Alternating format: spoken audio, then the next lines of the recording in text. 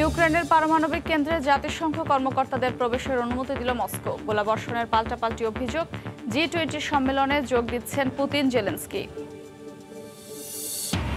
যুক্তরাষ্ট্রের বিরুদ্ধে চীনের সার্বভৌমত্ব লঙ্ঘন ও অভ্যন্তরীণ ইস্যুতে নাক গলানোর অভিযোগ বেজিংয়ের অখণ্ডতার প্রতি সমর্থন রাখার আহ্বান।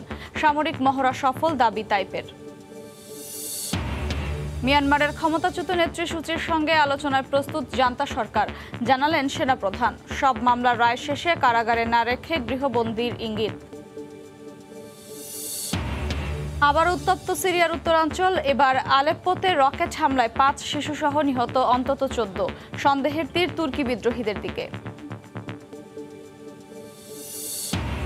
কিছুতেই নিয়ন্ত্রণে আসছে না স্পেনের ভ্যালেন্সিয়ার দাবানল। প্রায় আড়াই লাখ হেক্টর বনাঞ্চল পুড়ে ছাই ইতালির সিসিলিতেও নিয়ন্ত্রণের বাইরে আগুন।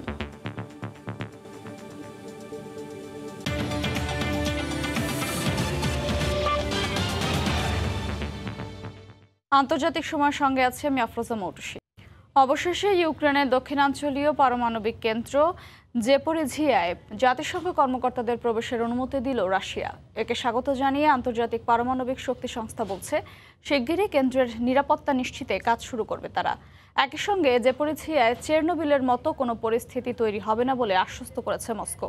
উল্টো কেন্দ্রটিতে পারমাণবিক বিপর্যয়ের শঙ্কায় কিয়েভকেই দুষছে তারা। এদিকে যুদ্ধবিধ্বস্ত ইউক্রেনের জন্য আশি কোটি মার্কিন ডলারের আর্থিক সহায়তার ঘোষণা দিয়েছে যুক্তরাষ্ট্র।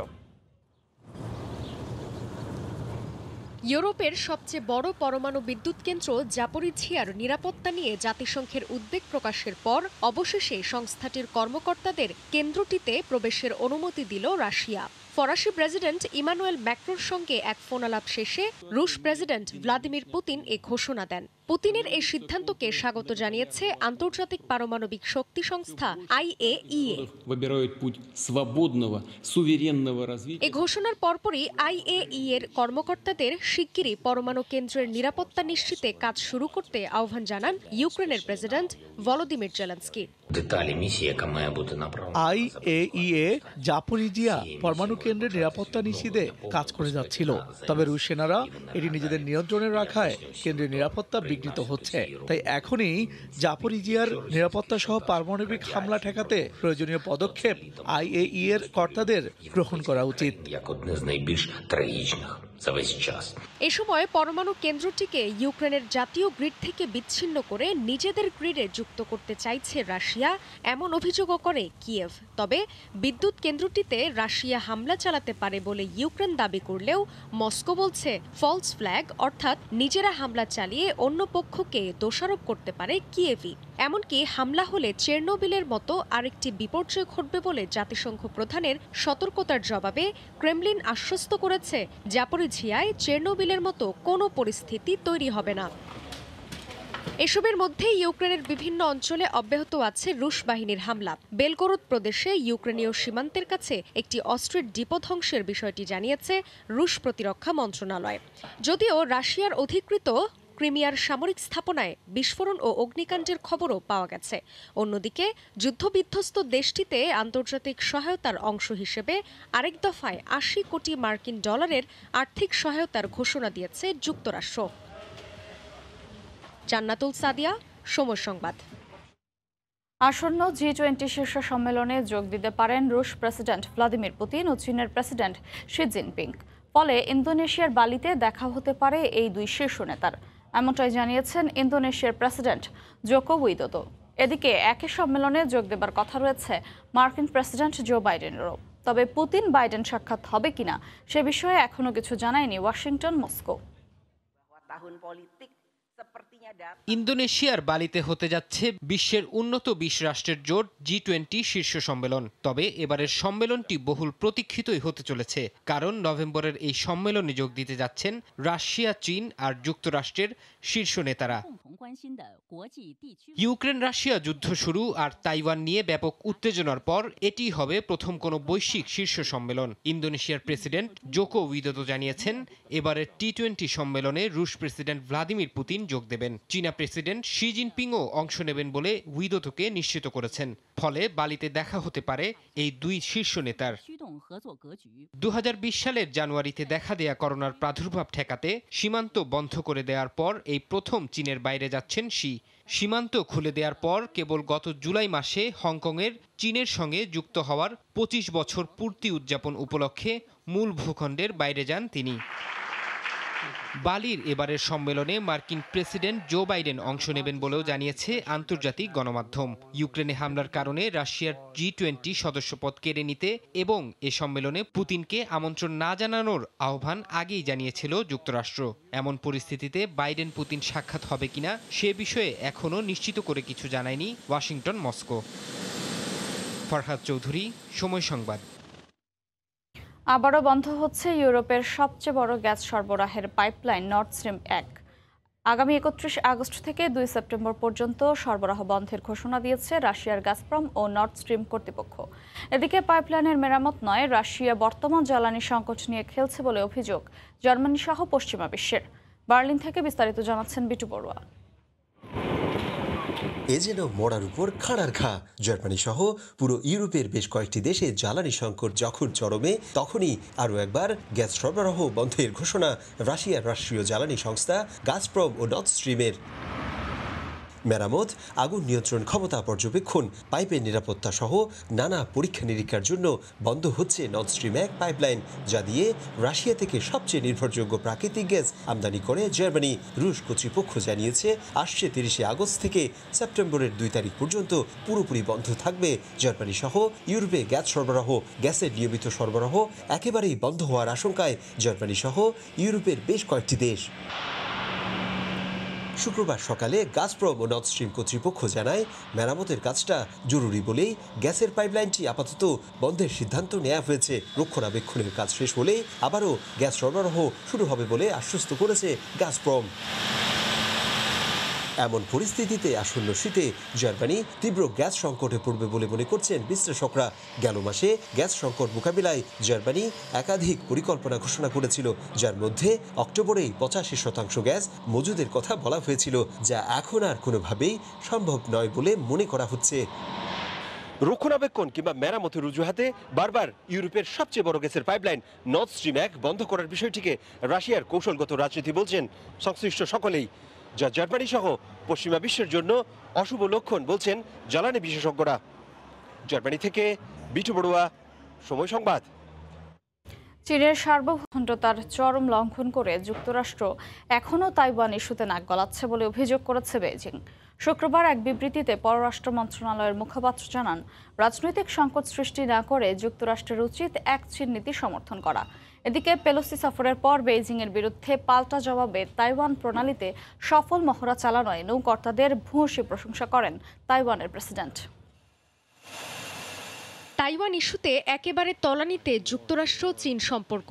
দুপক্ষের উত্তপ্ত বাকযুদ্ধ আর কর্মকাণ্ডে দিন দিন পরিস্থিতির আরও অবনতি স্পষ্ট হচ্ছে। শুক্রবার চীনের সার্বভৌমত্ব ও আঞ্চলিক অখণ্ডতার চরম লঙ্ঘন করে যুক্তরাষ্ট্র তাইওয়ান ইস্যুতে নাক গলাচ্ছে বলে আবারও অভিযোগ করেছে বেইজিং। এক বিবৃতিতে চীনা পররাষ্ট্র মন্ত্রণালয়ের মুখপাত্র জানান, রাজনৈতিক সংকট সৃষ্টি না করে যুক্তরাষ্ট্রের উচিত এক চীন নীতি সমর্থন করা। যুক্তরাষ্ট্রের এখানে সমস্যা সমাধান করতে চাওয়ার কিছু নেই। তাদের উচিত পাল্টা দোষারোপ না করে এক চীন নীতিতে বিশ্বাস রাখা। চীনের জাতীয় সার্বভৌমত্ব এবং আঞ্চলিক অখণ্ডতা রক্ষার জন্য দৃঢ় এবং অটল। এই বিষয়টি নিয়ে যেন তারা আমাদের ভুল না বোঝে। এদিকে পেলোসি সফরের পর বেইজিংয়ের বিরুদ্ধে পাল্টা জবের নৌবাহিনীদের ভূয়সী প্রশংসার পাশাপাশি কৃতজ্ঞতা জানান প্রেসিডেন্ট সাই ইং ওয়েন জান্নাতুল সাদিয়া, সময় সংবাদ। সামরিক অভ্যুত্থানে ক্ষমতাচ্যুত মিয়ানমারের নেত্রী অং সান সুচির সঙ্গে আলোচনায় প্রস্তুত দেশটির জান্তা সরকার। তবে সুচির বিরুদ্ধে চলমান বিচারিক ও আইনি প্রক্রিয়া শেষ হলেই কেবল আলোচনায় বসবে সামরিক সরকার। শুক্রবার মিয়ানমারের জান্তা সরকার প্রধান মিন অং লাইং এক বিবৃতিতে বিষয়টি নিশ্চিত করেন। এদিকে সব মামলার রায় শেষে সূচিকে কারাগারে না রেখে গৃহবন্দী করার ইঙ্গিত দিয়েছেন জান্তা প্রধান। মিয়ানমারে চলমান রাজনৈতিক অস্থিতিশীলতার মধ্যেই এবার সামরিক অভ্যুত্থানে ক্ষমতাচ্যুত নেত্রী অংসান সুচির সঙ্গে আলোচনায় বসতে প্রস্তুত বলে জানিয়েছে দেশটির জান্তা সরকার। শুক্রবার এক বিবৃতিতে মিয়ানমারের সামরিক সরকার প্রধান মিন অং লাইং বিষয়টি নিশ্চিত করেন। তবে আইন অনুযায়ী সুচির বিরুদ্ধে চলমান বিচারিক প্রক্রিয়া শেষ হলেই কেবল আলোচনায় বসবেন বলেও জানিয়েছেন তিনি। গেল সপ্তাহেই দুর্নীতির দায়ে মিয়ানমারের ক্ষমতাচ্যুত নেত্রী অং সান সুচির নতুন করে ছয় বছর কারাদণ্ডাদেশ দেয় দেশটির সামরিক আদালত। এর আগেও দুর্নীতি জান্তা বিরোধী আন্দোলনে উস্কানি, করোনার বিধিনিষেধ এবং টেলিকমিউনিকেশন আইন লঙ্ঘনের অভিযোগে বিভিন্ন মামলায় সূচিকে এগারো বছরের কারাদণ্ড দেয় সামরিক আদালত। দীর্ঘ বিচারিক প্রক্রিয়া শেষে কবে নাগাদ দুপক্ষের আলোচনা হতে পারে তা এখনও নির্দিষ্ট করে জানায়নি সামরিক সরকার। গত বছরের পহেলা ফেব্রুয়ারি সামরিক ক্ষমতাচ্যুত হওয়ার পর থেকে বন্দী রয়েছেন সাতাত্তর বছর বয়সী সুচি। এর মধ্য দিয়ে দেশটিতে রাজনৈতিক অস্থিতিশীলতা চরম আকার ধারণ করতে শুরু করে। অভ্যুত্থানের ফলে সৃষ্ট সংকটের অবসান ঘটাতে সূচির সঙ্গে জান্তা সরকারের এই আলোচনা হতে পারে বলে প্রাথমিকভাবে ধারণা করছেন বিশ্লেষকরা। জান্নাতুল সাদিয়া সময় সংবাদ। আন্তর্জাতিক সময় আরও থাকছে। অধিকৃত পশ্চিম তীরে একাধিক এনজিও সংস্থার কার্যক্রম বন্ধের ঘোষণা ইসরায়েলের, কারণ নিয়ে ধোয়াশা, গভীর উদ্বেগ যুক্তরাষ্ট্রের।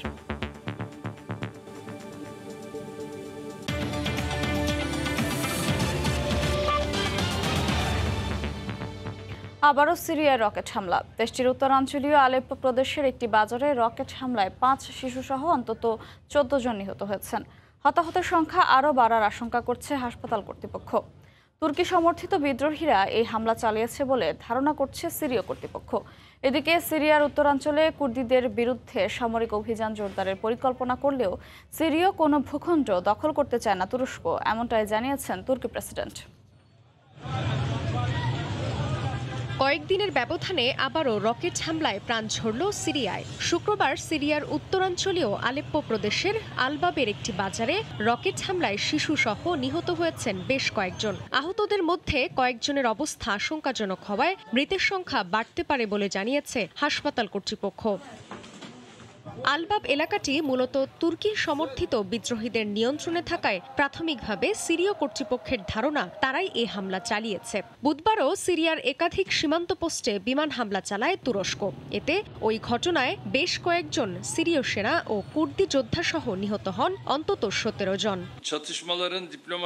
এদিকে আঙ্কারা ও দামেস্কের সীমান্ত পরিস্থিতি শান্ত রাখতে সিরিয়ার উত্তরাঞ্চলে কুর্দিদের বিরুদ্ধে সামরিক অভিযান জোরদারের পরিকল্পনা করার ঘোষণা দিয়েছেন তুর্কি প্রেসিডেন্ট রিসেপ তাইয়িপ এরদোয়ান। তবে সিরীয় কোনো ভূখণ্ড দখল করতে তুরস্ক চায় না বলেও জানিয়েছেন তুর্কি প্রেসিডেন্ট। জান্নাতুল সাদিয়া সময় সংবাদ। সোমালিয়ার রাজধানী মোগাদিসুর একটি হোটেলে দুটি আত্মঘাতী গাড়ি বোমা বিস্ফোরণ ঘটানোর পর সেটি নিজেদের নিয়ন্ত্রণে নিয়েছে হামলাকারীরা। এ ঘটনায় এখন পর্যন্ত নয় জন আহত হওয়ার খবর পাওয়া গেছে। স্থানীয় সময় শুক্রবার মোগাদিসুর হায়াত হোটেলটিতে এই ঘটনা ঘটে। খবর পেয়ে দ্রুত ঘটনাস্থলে পৌঁছায় নিরাপত্তা বাহিনী। এদের মধ্যে কয়েকজনের অবস্থা আশঙ্কাজনক বলে জানিয়েছে হাসপাতাল কর্তৃপক্ষ।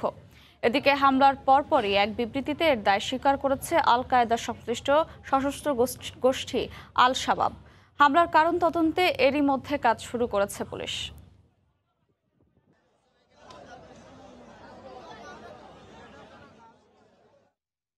সুইডেনের একটি শপিং মলে বন্দুকধারীদের গুলিতে দুইজন নিহত হয়েছে। শুক্রবার স্থানীয় সময় বিকেলে দেশটির দক্ষিণাঞ্চলীয় শহর মালমোয়ের এই বন্দুক হামলার ঘটনা ঘটে। এ সময় আহতদের উদ্ধার করে স্থানীয় হাসপাতালে ভর্তি করা হয়। হামলার ঘটনায় এখন পর্যন্ত সন্দেহভাজন একজনকে গ্রেফতার করেছে পুলিশ। এছাড়া পুরো এলাকা জুড়ে এখনও আতঙ্ক বিরাজ করায় নিরাপত্তার স্বার্থে পুরো এলাকা ঘিরে রেখেছে তারা। কর্তৃপক্ষ জানায়, সাম্প্রতিক সময়ে সুইডেনের তৃতীয় বৃহত্তর শহর মালমোতে বন্দুক হামলার ঘটনা বেড়েছে।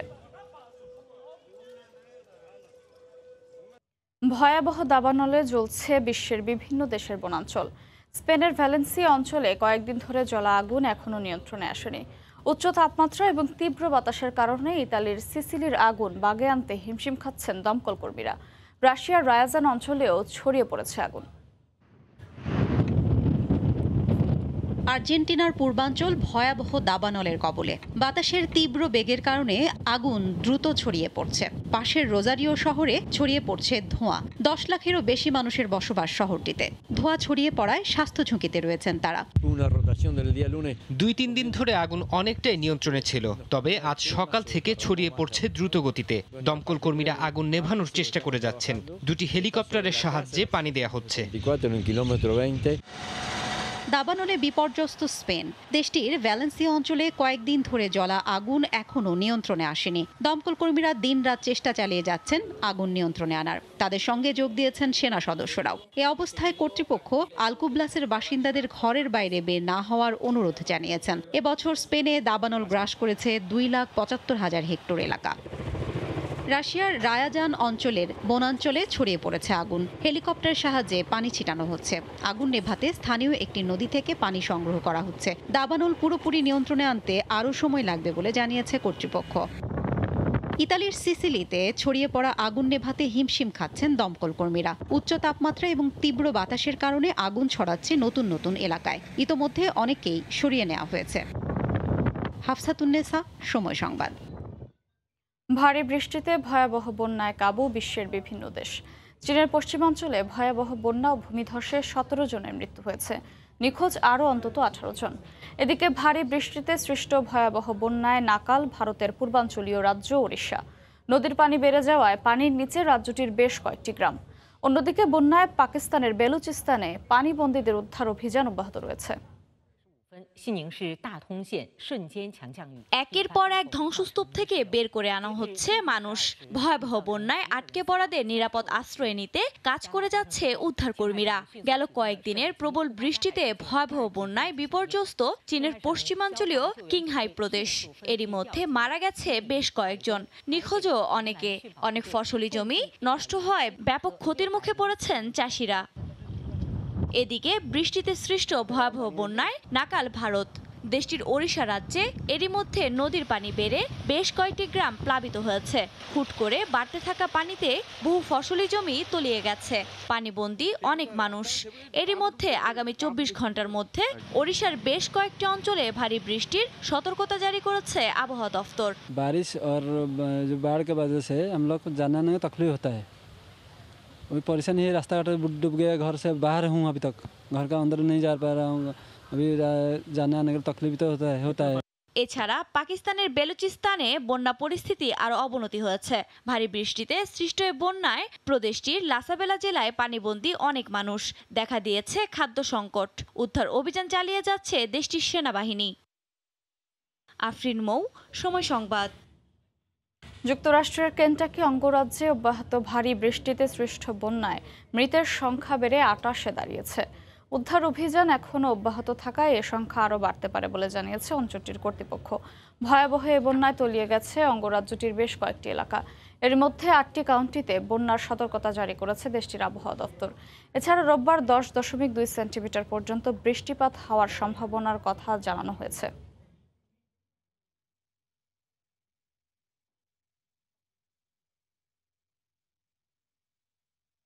কয়েক সপ্তাহের তীব্র তাপপ্রবাহ ও খরার পর এবার আকস্মিক ঝড়ের কবলে ইউরোপের মধ্য ও দক্ষিণাঞ্চল। শক্তিশালী ঝড়ে ফ্রান্স, ইতালি ও অস্ট্রিয়ায় মৃতের সংখ্যা বেড়ে দাঁড়িয়েছে তেরো জনে। হতাহতের সংখ্যা আরও বাড়ার আশঙ্কা করছে কর্তৃপক্ষ। ঝড়ের কবলে বিদ্যুৎ বিচ্ছিন্ন হয়ে পড়েছেন ফ্রান্সের কর্সিকা দ্বীপের অর্ধলক্ষাধিক বাসিন্দা। এছাড়া বাড়ি ঘর বিধ্বস্তের পাশাপাশি ইতালি ও অস্ট্রিয়ায় ব্যাহত যোগাযোগ ব্যবস্থা। শক্তিশালী ঝড়ে লণ্ডভণ্ড ইউরোপের মধ্য ও দক্ষিণাঞ্চল। শুক্রবারও রীতিমতো ফ্রান্সের কোর্সিকার দ্বীপটিতে তাণ্ডব চালায় এ ঝড়।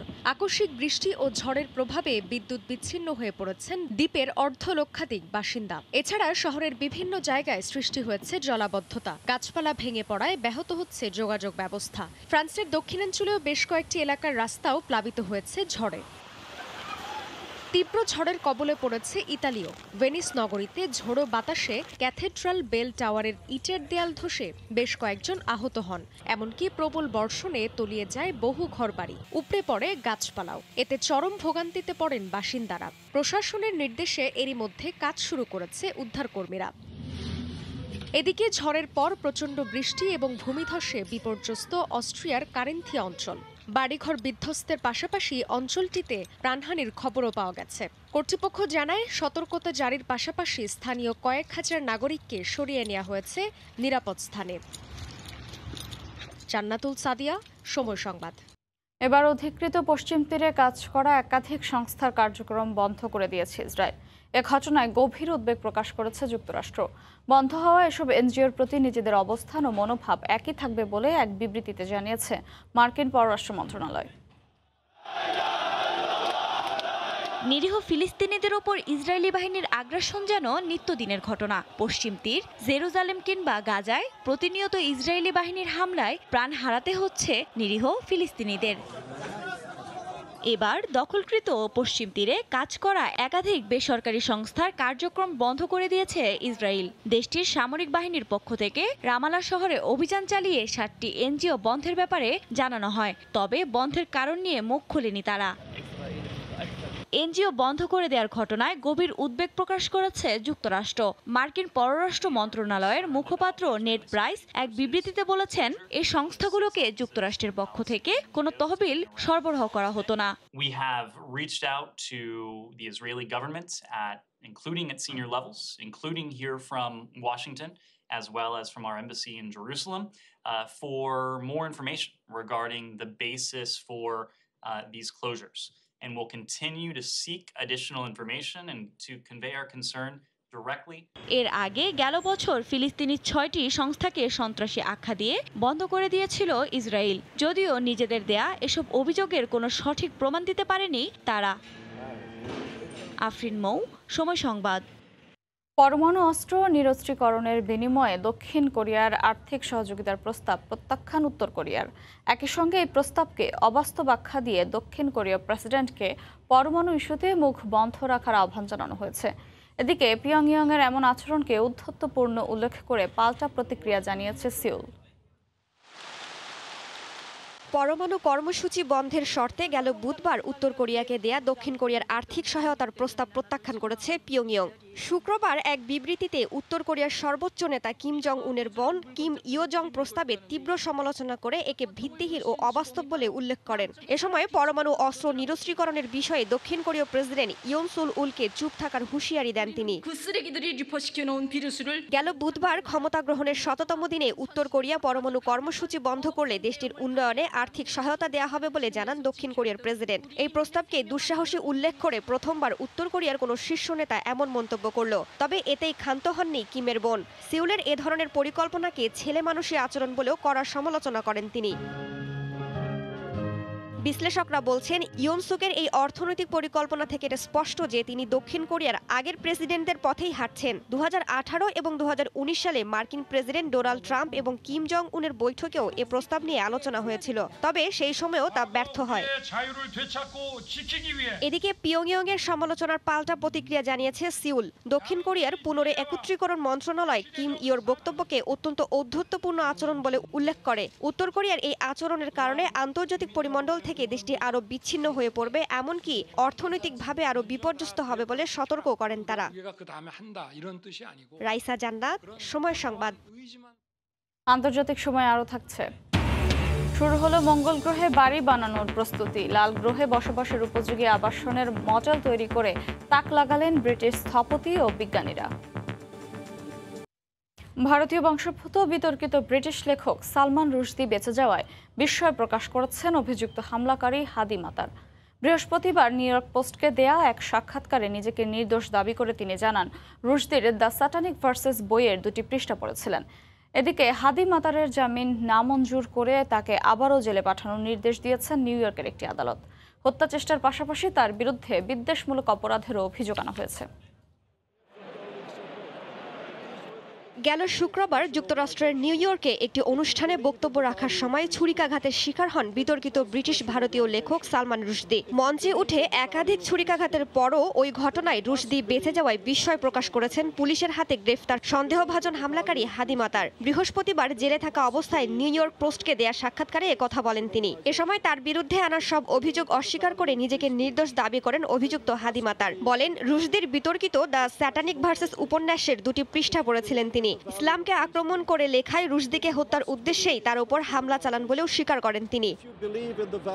এমন মন্তব্যের পর বৃহস্পতিবার নিউ ইয়র্কের একটি আদালতে তোলা হয় হাদি মাতারকে। এদিন শুনানি শেষে জামিন নামঞ্জুর করে তাকে আবারও জেলে পাঠানোর নির্দেশ দেন আদালত। অভিযুক্ত হাদি মাতারের বিরুদ্ধে হত্যা চেষ্টার পাশাপাশি বিদ্বেষমূলক অপরাধের অভিযোগও আনা হয়েছে বলে জানান আইনজীবীরা। আগামী বাইশে সেপ্টেম্বর তাকে আবারও আদালতে তোলা হবে।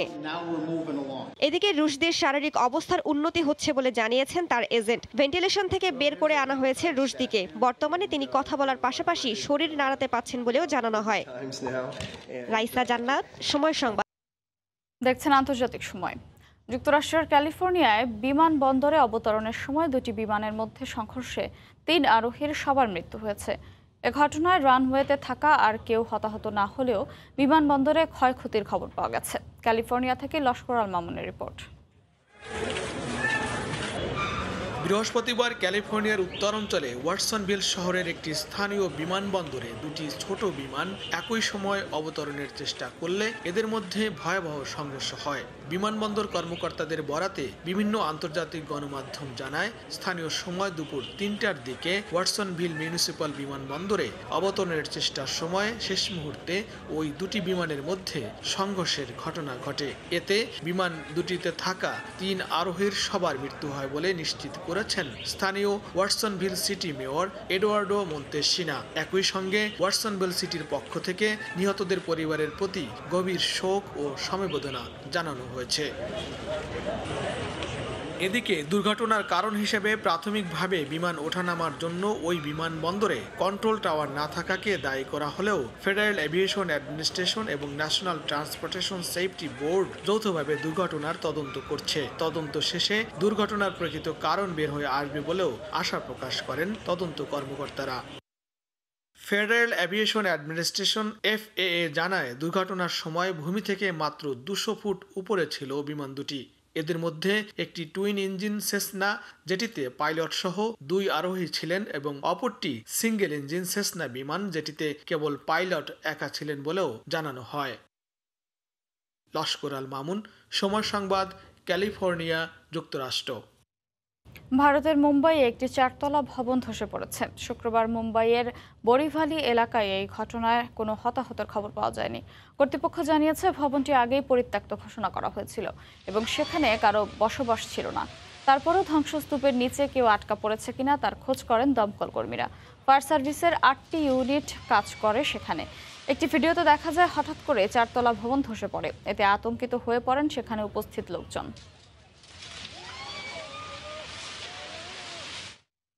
দেখছেন আন্তর্জাতিক সময়। কাতারে দিন দিন জনপ্রিয় হয়ে উঠছে বাংলাদেশের তৈরি পোশাক। তবে বাংলাদেশি মালিকানাধীন তেমন কোনো পোশাক শিল্প গড়ে না ওঠায় অনেকটাই পিছিয়ে এই খাতের ব্যবসায়ীরা। ফুটবল বিশ্বকাপ সামনে রেখে বাংলাদেশের তৈরি পোশাককে ব্র্যান্ডিং করার সুযোগ কাজে লাগাতে প্রস্তুত প্রবাসীরা। কাতার প্রতিনিধি আনোয়ার হোসেন মামুনের তথ্য ছবি নিয়ে রিপোর্ট। পশ্চিমা দেশগুলোতে দীর্ঘদিন ধরে শীর্ষস্থান দখল করে রাখলেও মধ্যপ্রাচ্যের দেশগুলোতে অনেকটাই পিছিয়ে বাংলাদেশের তৈরি পোশাক বা গার্মেন্টস পণ্য। তবে কাতার সহ বিভিন্ন দেশে বাড়ছে বাংলাদেশি তৈরি পোশাকের চাহিদা। দেশটির বিভিন্ন শহরে বাংলাদেশিদের মালিকানাধীন দোকানগুলোতে জনপ্রিয় হয়ে উঠছে বাংলাদেশের তৈরি পোশাক। বাংলাদেশের টি শার্ট জিন্স যাবতীয় অনেক পণ্য আছে। এখানে আমাদের কাছে বাংলাদেশি কাস্টমার প্লাস বিদেশি অনেক কাস্টমার আসে। আমাদের বাংলাদেশের সুনাম বাড়তেছে এবং কাতারে যেসব গার্মেন্টস আইটেম গালান আসছে এটার খুব চাহিদা। কাতার ফুটবল বিশ্বকাপ সামনে রেখে বাংলাদেশি তৈরি পোশাকের চাহিদা আরও বাড়বে বলে মনে করেন প্রবাসী ব্যবসায়ীরা। ওয়ার্ল্ড কাপকে সামনে রেখে আমি এই শোরুমটা উদ্বোধন করছি যেন আমি আমার বাংলাদেশের প্রোডাক্টটাকে যেন আমি এই কাতারের বুকে প্রেজেন্ট করতে পারি। ভারত সহ বিশ্বের বিভিন্ন দেশের ব্যবসায়ীরা কাতারে পোশাক শিল্প গড়ে তুললেও এক্ষেত্রে অনেকটাই পিছিয়ে প্রবাসীরা। বাংলাদেশি পণ্যের বাজার বড় করতে তাই এ খাতে বিনিয়োগের সুযোগ রয়েছে বলে মনে করেন অনেকে। তৈরি পোশাকের বাজার ধরতে পারলে অর্থনৈতিকভাবে লাভবান হবে বাংলাদেশ, বাড়বে রেমিটেন্স সময় সংবাদ, দোহা, কাতার। ষোলো সেপ্টেম্বর থেকে আনুষ্ঠানিকভাবে বাজারে আসতে যাচ্ছে বহুল প্রতীক্ষিত অ্যাপেলের স্মার্টফোন, আইফোন ফোরটিন সাত সেপ্টেম্বর অনুষ্ঠিত হবে এর মোড়ক উন্মোচন।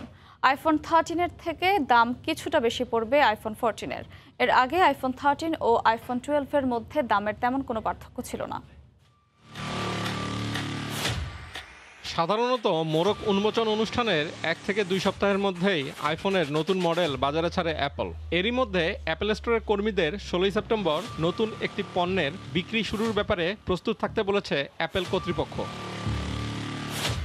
অ্যাপল সংশ্লিষ্ট সূত্রে বরাত দিয়ে এসব তথ্য জানিয়েছে বাণিজ্য বিষয়ক আন্তর্জাতিক গণমাধ্যম ব্লুমবার্গ। সাত সেপ্টেম্বর আনুষ্ঠানিক উন্মোচনের পর ষোলো সেপ্টেম্বর থেকে অ্যাপল স্টোরগুলোতে আইফোন ফোরটিনের বিক্রি শুরু হওয়ার কথা জানিয়েছে তারা। অবশ্য এখনও আইফোন ফোরটিন বাজারে আসার ব্যাপারে আনুষ্ঠানিকভাবে কোনো মন্তব্য করেনি অ্যাপল। তবে অতীতের নজিরে দেখা যায়, সেপ্টেম্বর মাসেই বাজারে ছাড়া হয় নতুন মডেলের আইফোন। সাধারণত মঙ্গলবার কিংবা বুধবার এর উন্মোচনের পর বিক্রি শুরু হয় পরবর্তী সপ্তাহের শুক্রবারে। সবশেষ আইফোন থার্টিনের মোড়ক উন্মোচন হয়েছিল দুই হাজার একুশ সালের চোদ্দই সেপ্টেম্বর আর বিক্রি শুরু হয়েছিল চব্বিশ সেপ্টেম্বর। আইফোন থার্টিনের মতোই ছয় দশমিক এক ইঞ্চি স্ক্রিন থাকছে আইফোন ফোরটিনে তবে এর প্রোম্যাক্স মডেলে থাকছে ছয় দশমিক সাত ইঞ্চি স্ক্রিন সাপ্লাই চেন সংকটের কারণে কাঁচামালের দাম বেড়ে যাওয়ায় আইফোন থার্টিনের থেকে একশো ডলার বেশি হতে পারে আইফোন ফোরটিনের দাম। এর আগে আইফোন থার্টিন ও আইফোন টুয়েলভের মধ্যে দামের তেমন কোনো পার্থক্য ছিল না। আইফোন ফোরটিন ছাড়াও চলতি মৌসুমে নতুন আইপ্যাড ম্যাকবুক এবং অ্যাপল ওয়াচ বাজারে ছাড়তে যাচ্ছে অ্যাপল কর্তৃপক্ষ। আইফোন ফোরটিন সহ নতুন মডেলের অন্যান্য পণ্যগুলো বাজারে আসতে যাওয়ার খবরে চাঙ্গা হয়েছে অ্যাপলের শেয়ার আগের দিনের থেকে এক শতাংশ বৃদ্ধি পেয়ে নিউ ইয়র্ক স্টক এক্সচেঞ্জে অ্যাপলের শেয়ারের দাম দাঁড়িয়েছে একশো চুয়াত্তর দশমিক পাঁচ চার ডলার। রাইসুল ইসলাম, সময় সংবাদ। পৃথিবীর বাইরের জগৎকে জানার আকাঙ্ক্ষা মানুষের বহুদিনের। সেই লক্ষ্যে মানুষ পাড়ি দিয়েছে বিশাল পথ। তার পায়ের ছাপ পড়েছে চাঁদে, মঙ্গলেও অবতরণ করেছেন অভিযান এত কিছুর পরও ক্ষান্ত হয়নি মানুষ। এবার শুরু হয়েছে মঙ্গলে বাড়ি বানানোর প্রস্তুতি। কেমন হবে সেই বাড়ি? কি কি সুবিধা থাকছে সেখানে? মঙ্গলে বসবাসের উপযোগী বাড়ির মডেল তৈরি করে সবাইকে তাক লাগিয়ে দিয়েছেন যুক্তরাজ্যের স্থপতি ও বিজ্ঞানীদের একটি দল। হু হু করে বাড়ছে পৃথিবীর জনসংখ্যা। পরিবেশ দূষণের পাশাপাশি কমছে আবাসস্থল। তবে এই বিপদ আগেই টের পেয়েছেন বিজ্ঞানীরা। অনেকেই বলছেন মানুষের পরবর্তী ঠিকানা হতে পারে দূরের লাল গ্রহ মঙ্গল। এরই মধ্যে সেখানে বাড়ি বানানোর প্রস্তুতিও শুরু হয়েছে। যুক্তরাজ্যের ব্রিস্টল শহরে প্রদর্শিত হয়েছে লাল গ্রহটিতে বসবাসের উপযোগী করে বানানো বিশেষ একটি বাড়ি। এল্লা গুড ও নিকি কেন্ট নামের দুই ব্রিটিশ শিল্পী সাত বছরের চেষ্টায় একত্রিত করেন একদল স্থপতি ও বিজ্ঞানীদের একটি দল, যারা অ্যান্টার্কটিকার মতো জায়গায় থাকার জন্য স্থাপনা বানানোর অভিজ্ঞতা সম্পন্ন। তাদের নিরলস চেষ্টার ফসল এই বাড়িটি। মঙ্গলে স্বাভাবিকভাবে নিঃশ্বাস নেয়ার মতো অক্সিজেন না থাকার বিষয়টি মাথায় রেখে বাড়িটিকে সম্পূর্ণ বায়ুরোধী করে বানানো হয়েছে। এর ভেতরে থাকছে বিশুদ্ধ অক্সিজেন। সূর্যের অতিবেগুনি রশ্মি এবং কসমিক রেডিয়েশন যেন ঘরে প্রবেশ করতে না পারে রাখা হয়েছে সেই ব্যবস্থাও। এছাড়াও পাঁচশো সত্তর বর্গফুটের দোতলা বাড়িটিতে সার্বক্ষণিক বিদ্যুৎ সুবিধার জন্য বসানো হয়েছে সোলার প্যানেল। আছে দুটি বড় শোবার ঘরও। That would be filled with a homemade concrete made of the water and crusty earth that you get on planet Mars that would then go hard and protect you from the rays that exist around you. Minus তেষট্টি degree Celsius পর্যন্ত তাপমাত্রা সহ্য করতে পারবে বাড়িটি বাইরের চরম আবহাওয়া থেকে পুরোপুরি সুরক্ষিত থাকবেন ভেতরের সবাই লাল গ্রহে কোনো গাছ নেই, তবে মঙ্গলের এই বাড়ির বাসিন্দাদের সেই চাহিদার বিষয়টিও বিবেচনা করেছেন এর নির্মাতারা। বাড়ির ভেতরেই গাছ লাগানোর বিশেষ ব্যবস্থাও রাখা হয়েছে। মঙ্গলে বসবাসের জন্য নির্মিত বিশেষ এই বাড়িটির দরজা সাধারণ মানুষের জন্য খোলা হবে চলতি মাসের শেষে। অক্টোবর পর্যন্ত যে কেউ বাড়িটিতে প্রবেশ করতে পারবেন। ফরহাদ চৌধুরী, সময় সংবাদ। আবারও মহাকাশে স্যাটেলাইট পাঠালো মার্কিন মহাকাশযান নির্মাতা প্রতিষ্ঠান স্পেস এক্স উচ্চগতির ইন্টারনেট সেবা দিতে একসঙ্গে আরও তিপ্পান্নটি স্টারলিংক স্যাটেলাইট পাঠিয়েছে প্রতিষ্ঠানটি। স্থানীয় সময় শুক্রবার ফ্লোরিডায় নাসার কেইহোপ কানাভেরাল স্পেস ফোর্স স্টেশন থেকে ফ্যালকন নাইন রকেটের মাধ্যমে স্যাটেলাইটগুলো উৎক্ষেপণ করা হয়। স্পেস এক্স কর্তৃপক্ষ জানায়, স্টারলিংকের সাহায্যে বিশ্বের যে কোনো স্থানে দ্রুত গতির ব্রডব্যান্ড ইন্টারনেট সুবিধা দেওয়া যাবে। এর আগেও বেশ কয়েকবার ফ্যালকন নাইন রকেটের মাধ্যমে মহাকাশে স্যাটেলাইট পাঠায় স্পেস এক্স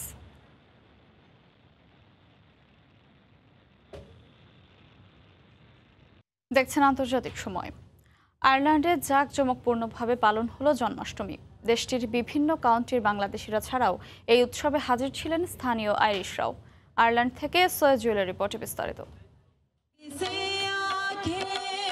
হিন্দু শাস্ত্রমতে ভাদ্র মাসে কৃষ্ণপক্ষের অষ্টমী তিথিতে ভগবান শ্রীকৃষ্ণ জন্মগ্রহণ করেন। নানা আয়োজনে জন্মাষ্টমী উৎসব উদযাপন করেন সনাতন ধর্মাবলম্বীরা। আয়ারল্যান্ডের রাজধানীর ডাবলিনের নন্দনালয়ে এই প্রথম বড় আকারে আয়োজন হয় জন্মাষ্টমী। দেশটির বিভিন্ন কাউন্টির সনাতন সম্প্রদায়ের বাংলাদেশি ছাড়াও উপস্থিত ছিলেন অন্যান্য ধর্মাবলম্বীরাও। ধর্মীয় গান, কীর্তন, পূজায় উৎসবের দিনটি পার করেছেন সনাতন ধর্মাবলম্বীরা।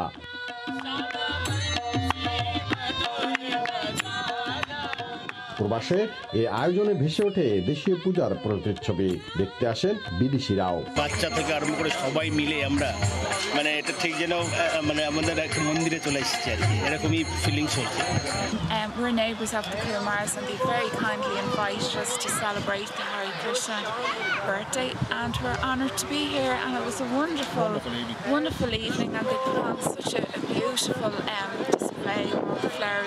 আয়ারল্যান্ডে প্রথমবার এত বড় পরিসরে জন্মাষ্টমীর এই আয়োজন করতে পেরে খুশি আয়োজকরাও। আয়ারল্যান্ডের ডাবলিনের এই নন্দালয়ে এই যে সমস্ত কা- কাউন্টি থেকে যে ভক্তরা এসেছেন জন্মাষ্টমী উৎসব পালন করার জন্য আমরা অত্যন্ত আনন্দিত। সবাই এসেছেন এখানে বিভিন্ন বিদেশিরাও এসেছেন আইরিশ বহুত লোক এখানে প্রায় চারশোর উপরে গ্যাদারিং হয়েছে। এই প্রথম এই আয়ারল্যান্ডে এই জন্মাষ্টমী উৎসব এমনভাবে পালন করা হলো। উপবাস পূজা প্রার্থনা থাকে জন্মাষ্টমীতে অনেকে একে বলেন কৃষ্ণাষ্টমী, গোকুলাষ্টমী, অষ্টমী রোহিণী কিংবা শ্রীকৃষ্ণ জয়ন্তীও? সৈয়দ জুয়েল, সময় সংবাদ, আয়ারল্যান্ড। দক্ষিণ আফ্রিকার প্রাকৃতিক সৌন্দর্য ঘেরা শহর জর্জ। এই শহরের অপরূপ সৌন্দর্য আর মনোমুগ্ধকর দৃশ্য আকৃষ্ট করে ভ্রমণ পিপাসুদের। দীর্ঘদিন যাবৎ এই শহরে ব্যবসা বাণিজ্য করছেন প্রবাসী বাংলাদেশিরা। পর্যটন নগরী জর্জ ঘুরে এসে মিজানুর রহমান রাসেলের রিপোর্ট। দক্ষিণ আফ্রিকার পশ্চিম কেপ প্রদেশের দ্বিতীয় বৃহত্তম শহর জর্জ ইতিহাস ও ঐতিহ্যে ভরপুর আর প্রাকৃতিক সৌন্দর্যে ঘেরা এ শহর আকৃষ্ট করে পর্যটকদের। শহরের অন্যতম আকর্ষণ পাহাড়ের পাদদেশ ধরে উঁচু নিচু আঁকাবাঁকা পথ। সাগরের তীর ঘেসে চলতে থাকা অপরূপ দৃশ্য পাগল করে এখানে ঘুরতে আসা ভ্রমণ পিপাসুদের। আয়তনে পাঁচ হাজার তিনশত বর্গমাইলের ছোট এই শহরের লোকসংখ্যা প্রায় এক লাখ ষাট হাজার। তাদের জীবিকার প্রধান উৎস কৃষি হলেও আয়ের অন্যতম বড় মাধ্যম হোটেল এবং পর্যটন শিল্প। নিরাপত্তা আর ব্যবসায়িক সুবিধা বেশ ভালো থাকায় এই শহরে দীর্ঘ তিন দশকের বেশি সময় ধরে সুনাম আর সফলতার সঙ্গে ব্যবসা করে যাচ্ছেন প্রায় হাজারখানেক প্রবাসী বাংলাদেশি। সৌন্দর্য বিবেচনায় দক্ষিণ আফ্রিকার অন্যতম সেরা সুন্দর শহর জর্জ। প্রাকৃতিক সৌন্দর্য ঘেরা এই শহরের অলিগলিতে কয়েক দশক ধরে বেশ সুনাম আর সফলতার সাথে ব্যবসা করে যাচ্ছেন অসংখ্য অপ্রবাসী বাংলাদেশি। দক্ষিণ আফ্রিকার জর্জ থেকে মিজান রহমান রাসেল, সময় সংবাদ। আসন্ন কাতার বিশ্বকাপ সামনে রেখে খেলোয়াড়, ম্যাচ অফিসিয়াল ও দর্শনার্থীদের জন্য বিশেষভাবে আয়োজন করা যানবাহনের পরীক্ষামূলক অনুশীলন সম্পন্ন করেছে কর্তৃপক্ষ। কাতারের বিভিন্ন শহরের নয়টি রুটে তেরোশো বাস পরীক্ষামূলকভাবে চালানো হয়েছে। ট্রান্সপোর্টেশনের বিশাল এই আয়োজন পরিকল্পনা অনুযায়ী সুশৃঙ্খলভাবে পরিচালনার জন্য এই ট্রায়াল হয়েছে বলে জানিয়েছেন বিশ্বকাপে যানবাহন সরবরাহ কোম্পানির প্রধান আহমেদ হাসান আল ওবেদি। কাতার বিশ্বকাপ সামনে রেখে চলছে শেষ মুহূর্তের প্রস্তুতি। আসন্ন এই আসরে সারা বিশ্ব থেকে বারো লাখ সমর্থক ভ্রমণ করবেন দেশটি। অবকাঠামোগত নানা উন্নয়ন করছে আয়োজকরা। তারই ধারাবাহিকতায় খেলোয়াড়, কোচিং স্টাফ, ম্যাচ সংশ্লিষ্ট ও আগত দর্শনার্থীদের জন্য বিশেষ যানবাহনের ব্যবস্থা করেছে বিশ্বকাপ আয়োজক কমিটি। বিশ্বকাপ চলাকালীন কাতারের বিভিন্ন শহরের তিনশো রুটে চলবে চার হাজার বাস। সেজন্য প্রস্তুত আছেন চোদ্দ হাজার চালক। খেলোয়াড় ও ম্যাচ সংশ্লিষ্টদের যাতায়াতের জন্য ব্যবহার করা হবে বাসগুলো। বাকিগুলো চলবে কাতারের বিভিন্ন শহর থেকে দোহায় দর্শনার্থীদের আনা নেয়ার জন্য। শিডিউল মাফিক চলবে বাস, ট্রেন ও ট্রামগুলো। বিশ্বকাপ সামনে রেখে তেরোশো বাস পরীক্ষামূলকভাবে চালানো হয়েছে কাতারের নয়টি রুটে। ফলে একটি অনুশীলন সম্পন্ন হয়েছে, যে বাসগুলো যাত্রীদের স্টেডিয়ামে পৌঁছে দেবে। বিশ্বকাপে খেলোয়াড়, ম্যাচ সংশ্লিষ্ট এবং দর্শনার্থীদের যাতায়াতের জন্য বিশেষ ধরনের যানবাহনের ব্যবস্থা করা হয়েছে। আসর শুরুর আগে আমরা পরীক্ষামূলকভাবে নয়টা রুটে তেরোশো বাস রাস্তায় নামাবো। আমি বিশ্বাস করি, বিশ্বকাপে যানবাহনের এই বিশেষ ব্যবস্থা অবশ্যই কার্যকর হবে। ম্যাচ ডেগুলোতে পরিকল্পনা মাফিক বাস এবং ট্রাম চলাচলের সময় নির্ধারণ করা হবে। বিশাল এই ব্যবস্থা সুষ্ঠুভাবে আয়োজনের জন্য আমরা পরীক্ষামূলকভাবে বাসগুলো পথে নামিয়েছি। শৃঙ্খলা বজায়ের অনুশীলন অনুশীলনের জন্য। এদিকে বাসগুলোর সঙ্গে সঙ্গে বিশেষ ট্রাম ও ট্রেনগুলো টেস্টিং করা হয়েছে। তাজিন খন্দকার সময় সংবাদ। যতই সময় ঘনাচ্ছে ততই বাড়ছে ফুটবল বিশ্বকাপ নিয়ে মানুষের আগ্রহ। ফিফার হিসাব বলছে কাতার আসর সামনে রেখে এখন পর্যন্ত দুই মিলিয়নেরও বেশি টিকিট বিক্রি করেছে তারা। এর মধ্যে কেবল জুলাই মাসেই বিক্রি হয়েছে পাঁচ লাখ টিকিট। সেপ্টেম্বরের পর আরও এক ধাপে টিকিট বিক্রি করা হবে বলে জানিয়েছে ফুটবলের নিয়ন্ত্রক সংস্থা।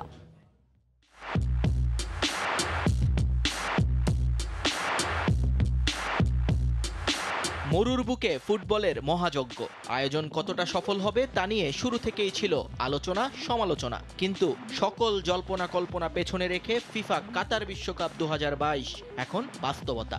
স্টেডিয়ামগুলো প্রস্তুত ম্যাচ আয়োজনে। রেফারিরা প্রশিক্ষণ নিচ্ছেন রাত দিন। ভলান্টিয়াররা সারছেন নিজেদের শেষ মুহূর্তের প্রস্তুতি।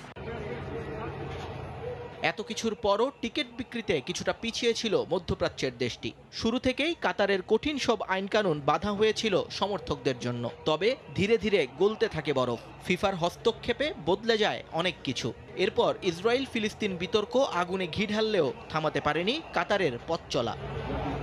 যার প্রমাণ ফিফার এই বিবৃতি। বৃহস্পতিবার ফিফার ওয়েবসাইটে দেয়া তথ্য মতে, এখন পর্যন্ত চব্বিশ লাখ পঞ্চাশ হাজার টিকিট বিক্রি করেছেন আয়োজকরা। এর মধ্যে কেবল জুলাই মাসের পনেরো দিনেই বিক্রি হয়েছে পাঁচ লাখ টিকিট। টিকিট কেনায় সবচেয়ে বেশি সাড়া মিলেছে কাতার, সৌদি আরব, সংযুক্ত আরব আমিরাত সহ মধ্যপ্রাচ্যের বিভিন্ন দেশ থেকে। তবে পিছিয়ে নেই যুক্তরাষ্ট্র, মেক্সিকো, ইংল্যান্ড, অস্ট্রেলিয়া এবং ব্রাজিল আর্জেন্টিনাও। ফিফার তথ্য মতে, গ্রুপ পর্বের জন্য সবচেয়ে বেশি টিকিট বরাদ্দ করা হয়েছে। Brazil Cameroon, Brazil Serbia, Germany Costa Rica এবং অস্ট্রেলিয়া ডেনমার্কের ম্যাচে। যারা অন্তত একটি টিকিটও পেয়েছেন, সে সৌভাগ্যবানদের দ্রুততম সময়ে কাতারের বিমান টিকিট কেটে ফেলতে অনুরোধ জানিয়েছে আয়োজক কমিটি। তবে টিকিট না পেলেও হতাশ হতে নিষেধ করেছে ফিফা, কারণ এখনও শেষ ধাপের টিকিট বিক্রি বাকি রয়েছে বলে জানিয়েছে তারা। সেপ্টেম্বরের শেষ দিকে নতুন করে বিক্রির সময় জানানো হবে ফিফার ওয়েবসাইটে। সে সময় দোহার টিকিট কাউন্টারগুলোতেও পাওয়া যাবে বিশ্বকাপ ম্যাচের টিকিট। নিয়ন মোহাইমেন, সময় সংবাদ। আন্তর্জাতিক সময়ের শীর্ষ সংবাদ জানিয়ে দিচ্ছি আরেকবার। ইউক্রেনের পারমাণবিক কেন্দ্রে জাতিসংঘ কর্মকর্তাদের প্রবেশের অনুমতি দিল মস্কো। গোলাবর্ষণের পাল্টাপাল্টি অভিযোগ জি টোয়েন্টি সম্মেলনে যোগ দিচ্ছেন পুতিন জেলেন্সকি। মিয়ানমারের ক্ষমতাচ্যুত নেত্রী সূচির সঙ্গে আলোচনায় প্রস্তুত জান্তা সরকার, জানালেন সেনাপ্রধান। সব মামলার রায় শেষে কারাগারে না রেখে গৃহবন্দির ইঙ্গিত। এবং কিছুতেই নিয়ন্ত্রণে আসছে না স্পেনের ভ্যালেন্সিয়ার দাবানল। প্রায় আড়াই লাখ হেক্টর বনাঞ্চল পড়ে ছাই, ইতালির সিসিলিতেও ছড়িয়ে পড়েছে আগুন।